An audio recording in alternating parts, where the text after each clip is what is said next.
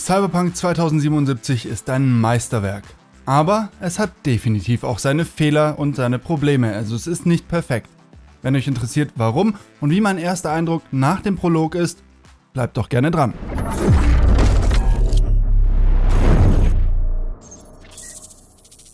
Hallo und herzlich willkommen zu meinem ersten Eindruck zu Cyberpunk 2077 nach dem Prolog.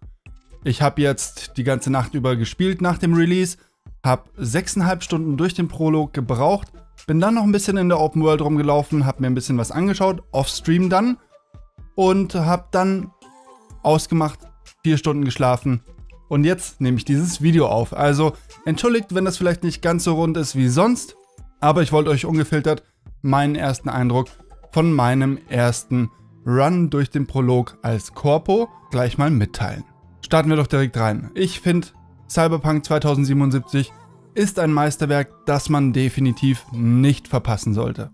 Also ich glaube, das Warten hat sich auf jeden Fall gelohnt, aber es ist, wie ich eingangs schon erwähnt habe, auf keinen Fall das perfekte Spiel, das glaube ich sehr viele erwartet haben nach so langer Produktionszeit. Fangen wir doch erstmal damit an, was es alles gut und richtig macht. Die Story ist der Wahnsinn. Also die, die Story ist einfach nur richtig gut geschrieben, richtig gut erzählt, zieht einen komplett in seinen Bann. Gerade durch die First Person hat es mich richtig geflasht. Also ich war wirklich von Anfang des Prologs bis zum Ende des Prologs ständig unter Strom. Es hat mich auch da schon jetzt einfach nur in diesen sechseinhalb Stunden Prolog hat es mich an so vielen Stellen wirklich einfach meine Gefühle gepackt und mich mitgerissen. Sei es Freude, sei es Trauer, sei es Angst, sei es Excitement, also Aufregung, Spannung. Es ist alles mit dabei und alles funktioniert so, so gut. Also wirklich richtig gut.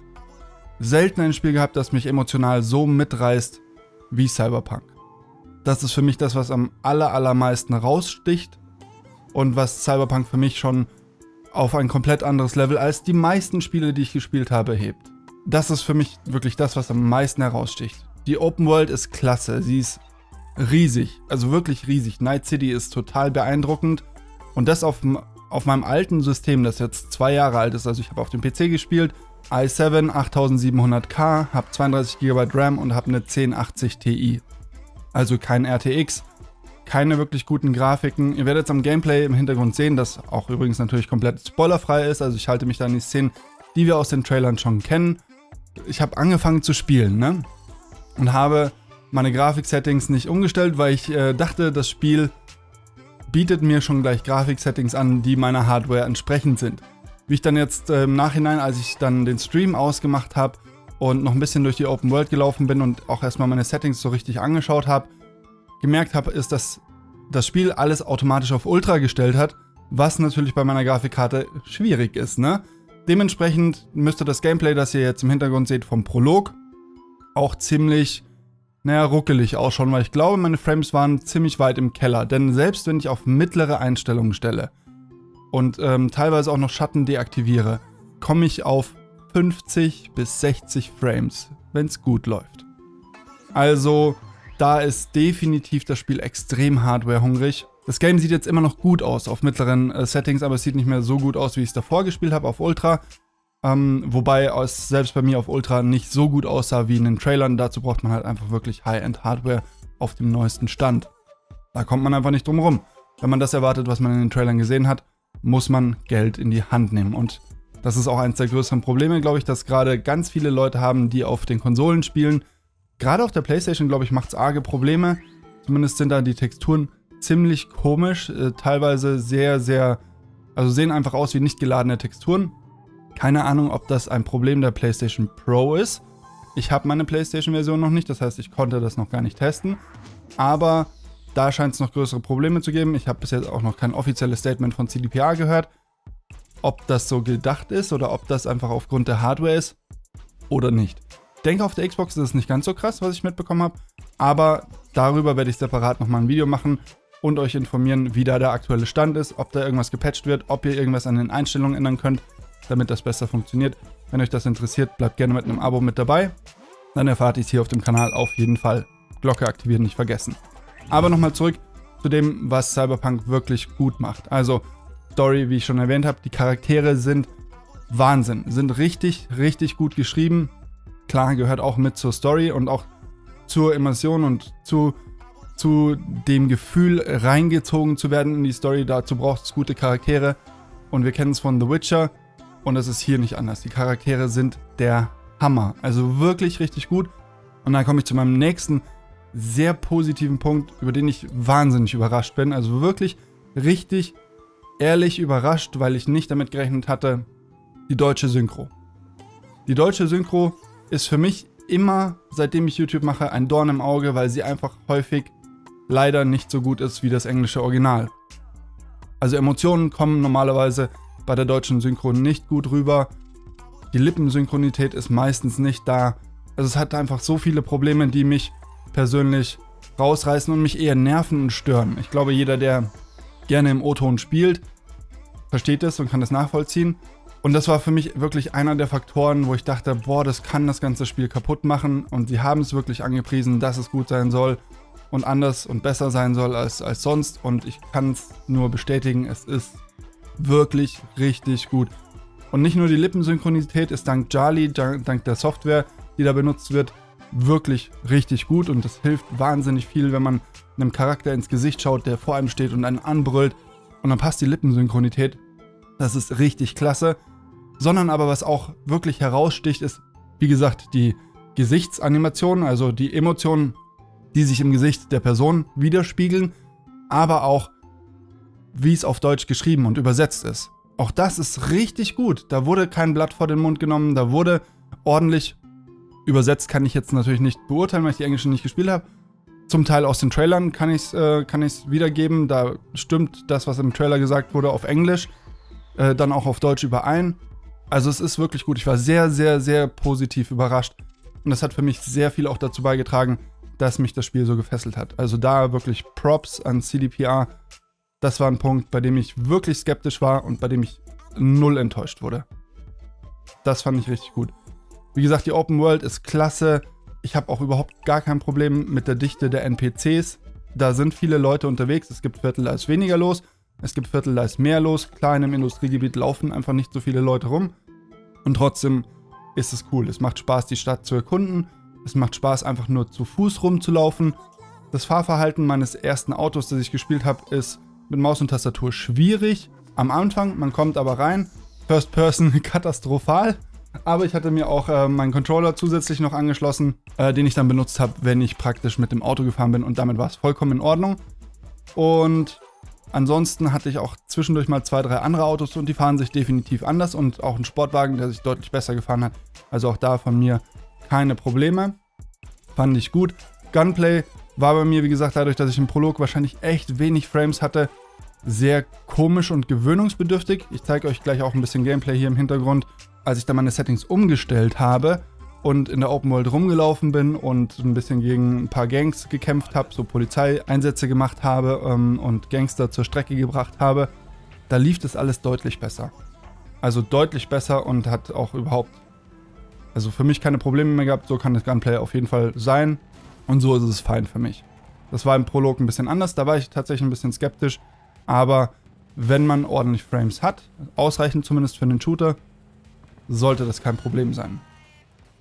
Allerdings, wo ich etwas erstaunt war, dass es schlechter war oder weniger war, als ich erwartet hatte oder meine Erwartungen einfach nicht erfüllt hat, war das Hacken. Also ich spiele eher als Corpo und wollte mich spezialisieren oder will mich immer noch spezialisieren auf einerseits Stärke, also Waffen, ähm, ein bisschen Cyberware und ähm, das Hacken.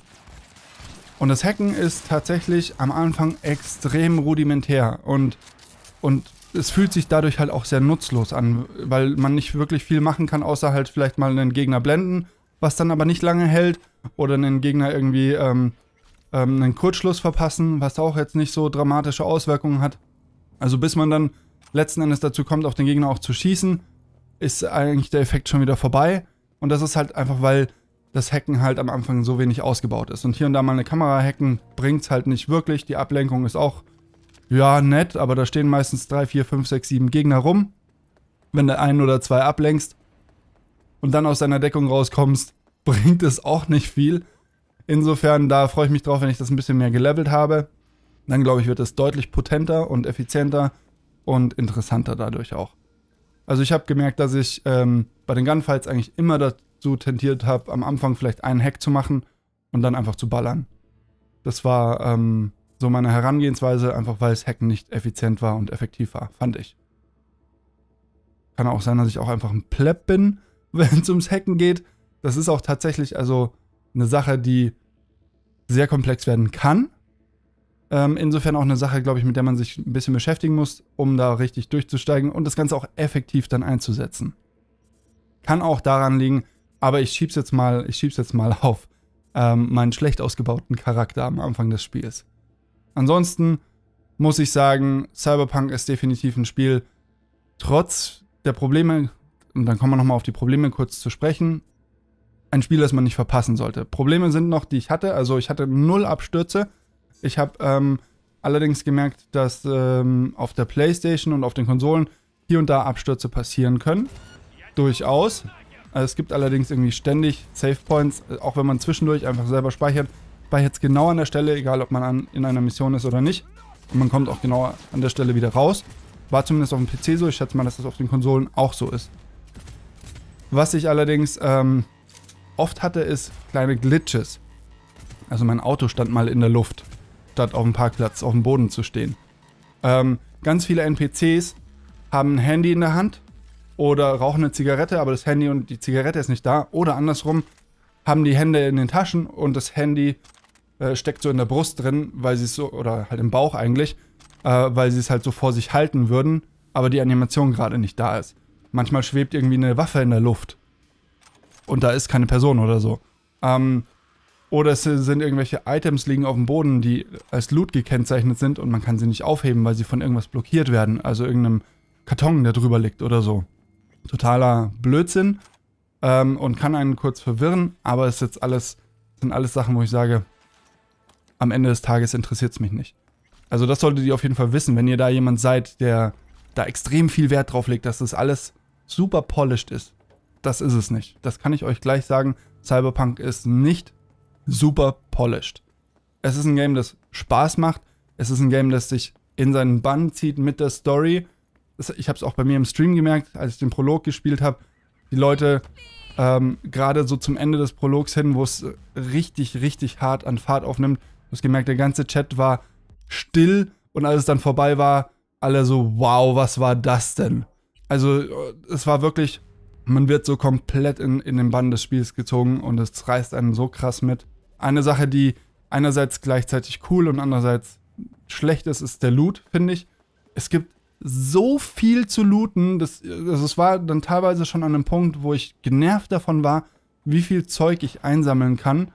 Und natürlich ist es wieder so, wenn man zu viel einsammelt und zu viel Gewicht mit sich rumträgt, dass man dann nicht mehr laufen kann. Ich hasse diese Mechanik. Aber sie ist hier auch wieder vorhanden. Insofern äh, habe ich auch gleich mal meinen Rucksack ausgebaut, dass ich mehr tragen kann, sozusagen, meine Stärke ausgebaut. Aber diese Mechanik ist wieder da und es gibt halt so viel Zeug, das man aufsammeln kann und das ist halt so viel Müll auch dabei, den man nicht braucht. Also ich äh, bin jetzt schon an dem Punkt, dass ich sage, so, weg, weg, weg, weg, weg. Verkaufen, verkaufen, verkaufen, verkaufen. Verkaufen auch eine ganz wichtige Sache. Denn Eddies, also die Währung im Spiel, ist super rar. Also ich spiele jetzt sieben oder acht Stunden und ich habe fast keine Kohle. Ich kann mir damit nichts kaufen. Das, also das ist richtig krass mit dem Geld müsst ihr wirklich haushalten und alles kostet euch Geld, was natürlich gut ist. Das macht es halt sehr wertvoll und das macht diesen Loot letzten Endes auch wieder wertvoll, den man da aufsammelt. Aber ich finde es persönlich zu viel. Mir würde es reichen, wenn es weniger wäre, man dafür aber vielleicht mehr Geld bekommt. Fände ich cooler. Ansonsten habe ich gehört, dass es irgendwie noch Probleme im Waffenbalancing gibt. Also Schwerter sind wohl relativ stark, äh, LMGs dafür relativ schwach. Das sind alles Sachen, wo ich sage, ja gut, da kommt ein Patch raus, dann wird es gefixt und dann ist es wieder gut. Und ansonsten gibt es halt hier und da auch mal irgendwie so Sprünge in der Animation von Leuten, also dass sie so ein, sich kurz von einer Seite auf die nächste bewegen, ohne dass da eine flüssige Bewegung ist. Sowas passiert auch ab und zu mal. Gehört für mich zu einem Open-World-RPG einfach auch mit dazu. Klar fände ich es geil, wenn das komplett smooth wäre und es da keine Kanten und Ecken gäbe. Aber ich bin da halt auch realistisch. So sind Open-World-Games in der Regel fast immer. Und ansonsten muss ich sagen, hatte ich keine Probleme und nichts, wo ich irgendwie was dran auszusetzen hatte. Also ich bin sehr, sehr positiv überrascht und, und es hört sich jetzt zwar nach mehreren Bugs an oder mehr negativen Punkten, die ich aufgezählt habe im Vergleich zu den positiven Punkten, die ich aufgezählt habe.